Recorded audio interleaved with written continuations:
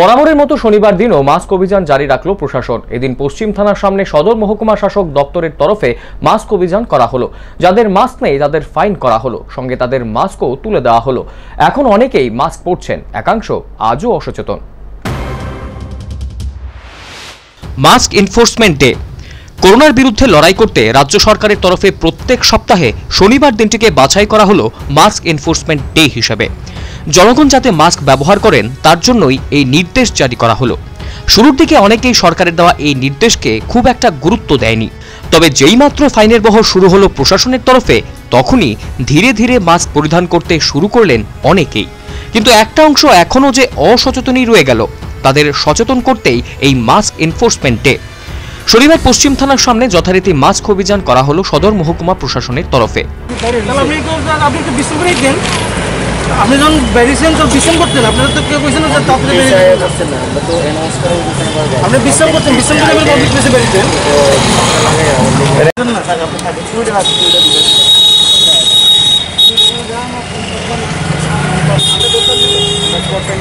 আপনি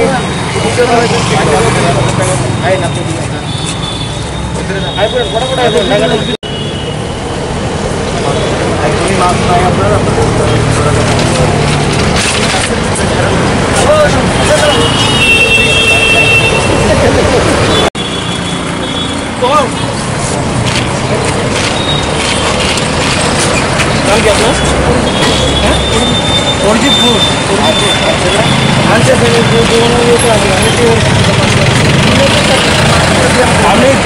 অসচেতন লোকদের পাকড়াও করে প্রশাসনের তরফে মাস্কের জন্য ফাইন করা হলো। সঙ্গে তাদেরকে মাস্কও দিয়ে দেওয়া হলো প্রশাসনের তরফে।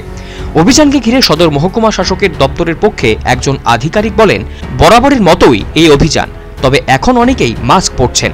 যারা পরছেন না, তাদেরকেই ফাইন করা হলো।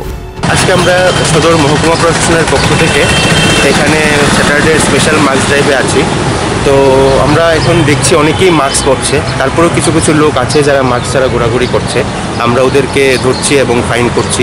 এবং যাদের কাছে মাস্ক নেই স্পেশালি রিক্সা চালক এবং অটো চালক, টমটম চালক, ওদেরকে আমরা মাস্ক ওদেরকে আমরা মাস্ক দিয়ে দিচ্ছি এবং অনুরোধ করছি মাস্ক পরার জন্য।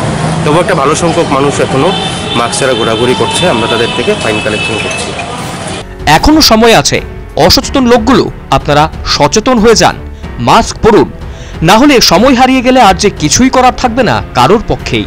তখন কিন্তু কোনো অজুহাতই বাঁচাতে পারবে না আপনাদের সোজা টিকেট উপরের। Bureau report, news Vanguard.